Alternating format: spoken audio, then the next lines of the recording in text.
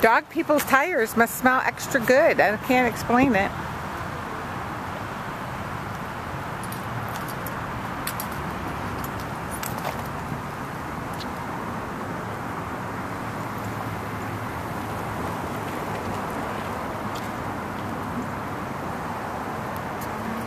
This is hard. He may actually end up going and finding the other hide. I didn't really, re that car wasn't there when I placed the other hide.